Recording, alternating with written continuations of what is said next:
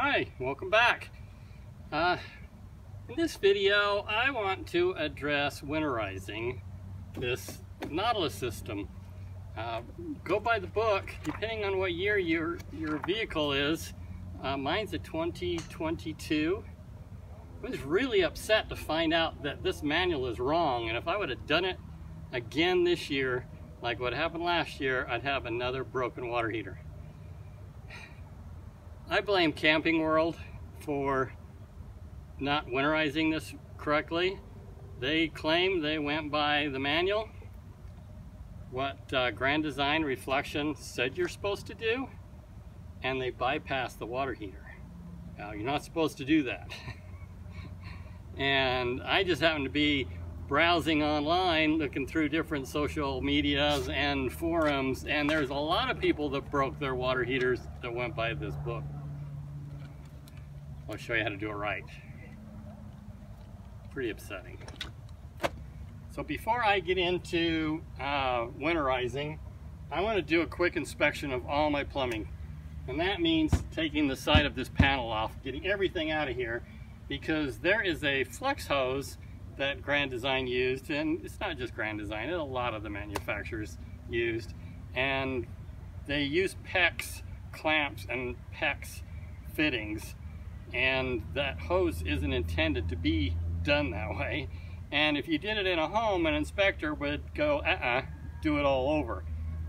But trailer manufacturers get away with it, and they shouldn't. I'll show you that too once I get in here. PEX pipe is okay, the clamps, even plastic fittings, but these hoses, the flex hoses, they're not meant to be clamped this way.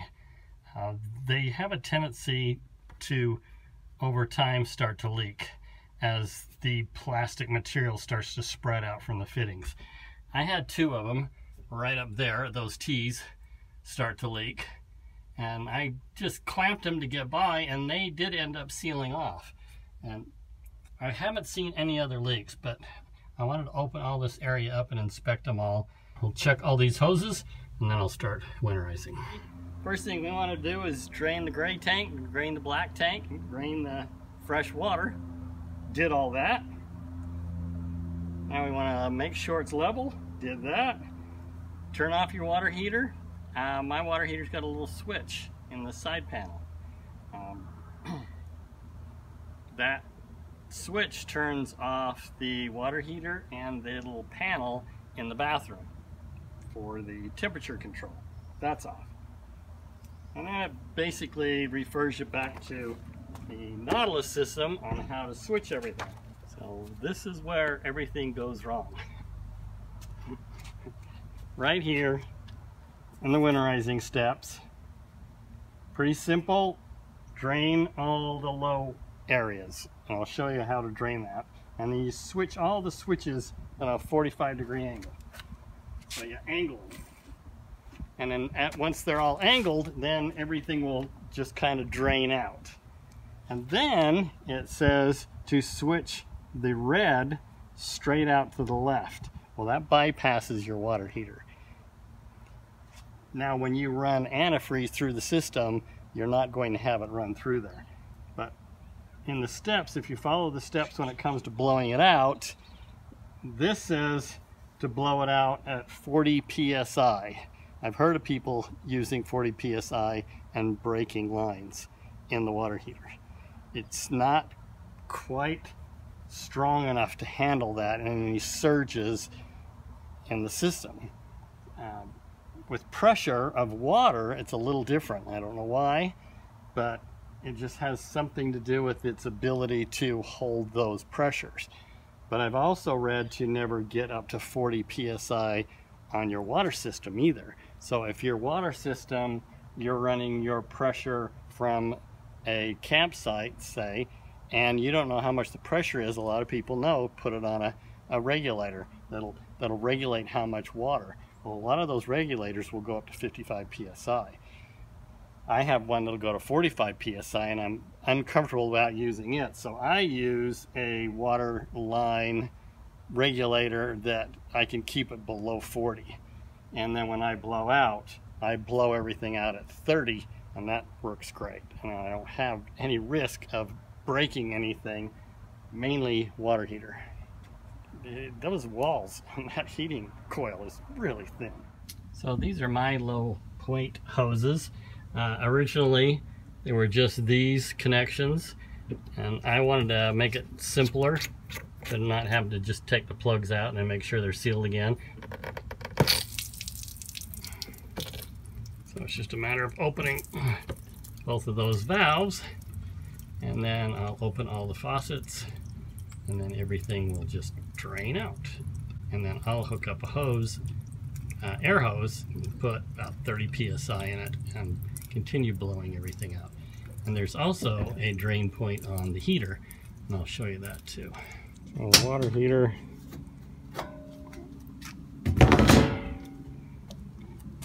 This is the power switch. I'm going to make sure it's off. And then this.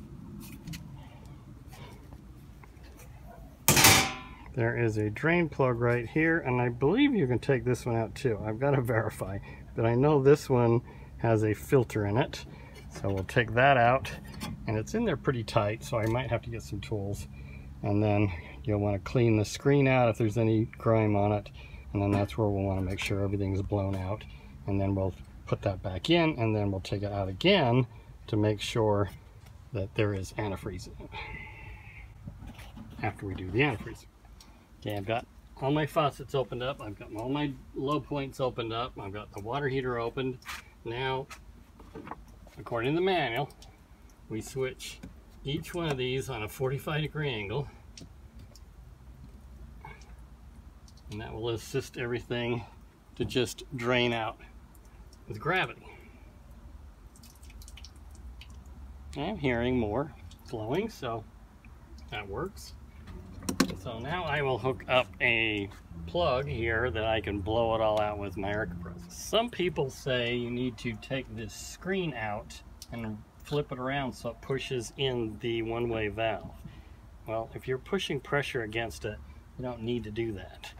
And my opening is big enough on my air compressor fitting that that screen is fine. So I'm going to attempt to do it this way and see if that valve does cause any problems. I have my gauge set up uh, on my air compressor at 30 and this gauge it surges to 30 and then drops down to 25 so I'm very comfortable with that.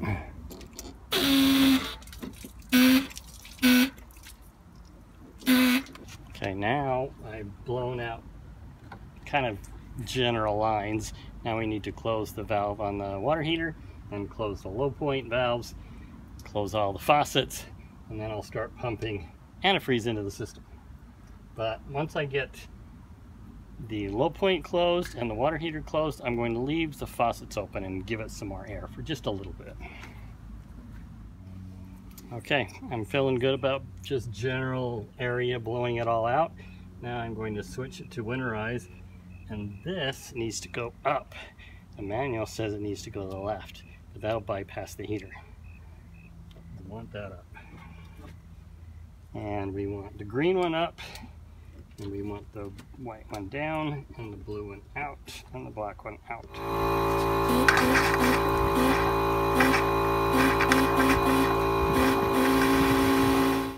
So what I did is I, I blew out all the lines, blew out all the system, faucets, everything, low points, and then turned everything off, opened this valve back up, and blew it out again. And you saw the squirt of water. So yeah, it's, it's good to now go back and do that on every single faucet. I'll put this plug back in and then I can, I can blow out and then I can start putting in the antifreeze. So I have this turned on to hot and you can see I'm just barely giving it a little bit of air pressure and it's kind of violent. and, and, it's only about 20-25 psi. So if I was just to put this on and leave it on, I'd be worried about damaging that water heater.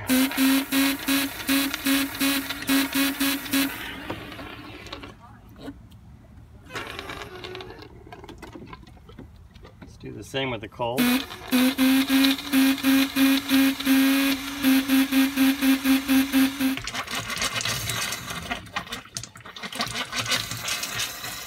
A little bit of water into the kitchen sink.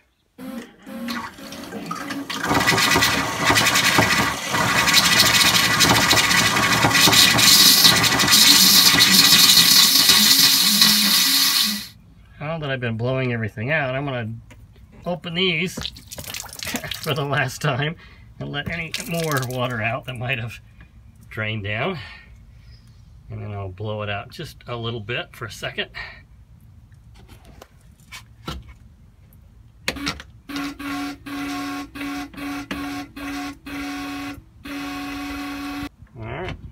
Now I am comfortable that I've got as much water as possible and the antifreeze will take care of the rest. Let's remove our air filler and hook up a small piece of hose and my jug. I have this little piece of hose. It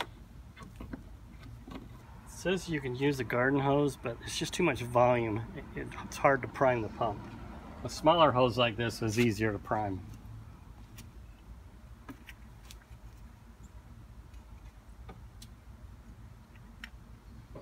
Now if everything's set correctly and all the faucets are off, which I'm comfortable they are, I can run my pump and it should siphon into the system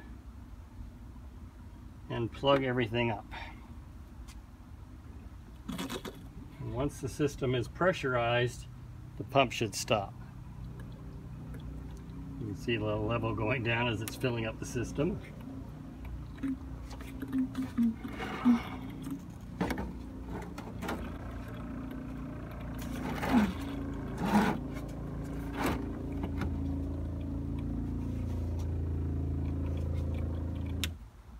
to shut it off and make sure I've got everything closed so I'm not just pumping all this antifreeze right into my gray tank. Okay, there's no antifreeze coming out anywhere where I don't want it to. We'll turn the pump back on.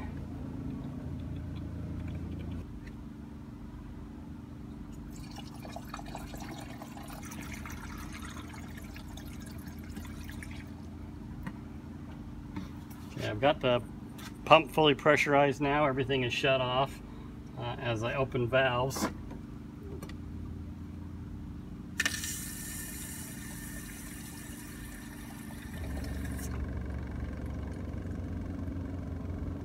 Pump kicks on and it kicks back off.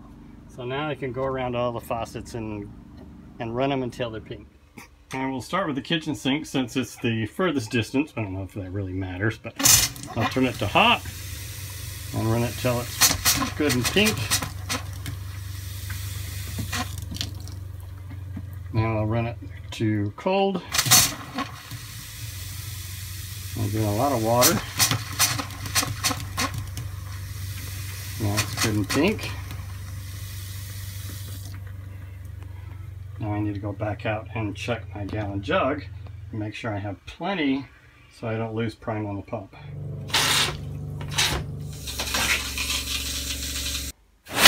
Whoa, cold water. I had a lot of air pressure on that one.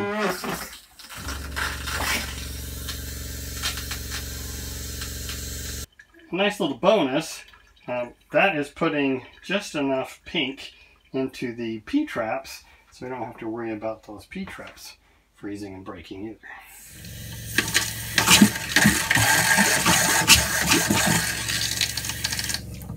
And now the cold water.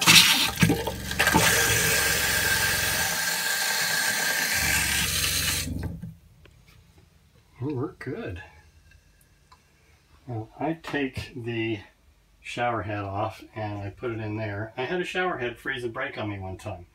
So I get it up so it'll drain and then it doesn't freeze. All right, now that I'm done, let's see just how much antifreeze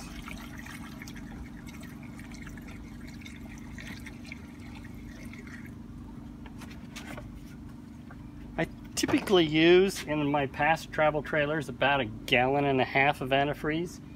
This trailer used almost two gallons.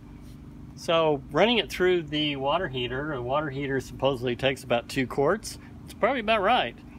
Typical, one and a half, now about two. So the uh, on-demand water heater does definitely take the antifreeze, but I want to check that now and make sure there's pink coming out of that drain. So to do that, let's turn off the pump. It's going to have pressure behind it. So when I release this end, we'll get a little bit of back pressure, but not that much. It's got some pressure behind it. I don't want it to come flying out. I just want to dribble a little bit. It might just come flying out. I'm going to have to relieve some pressure. I'm going to go get the pressure off at that outside shower.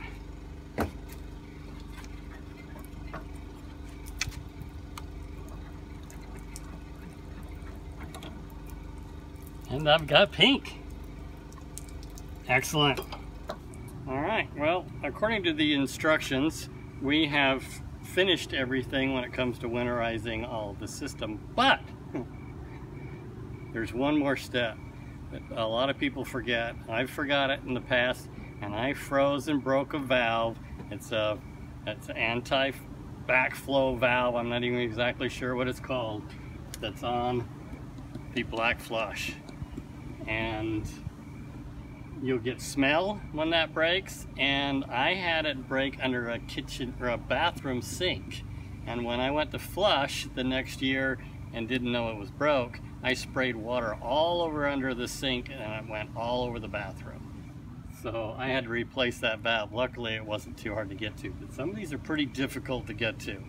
So let's blow that out. You don't need to run antifreeze in it. You just got to make sure to blow it out.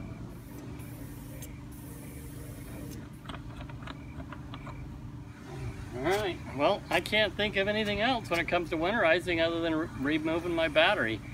So that's it for this. I just need to put everything back in. All right, well, thank you for watching. Give me a thumbs up if you like what I'm doing. Subscribe if you haven't. Thanks again. Goodbye for now.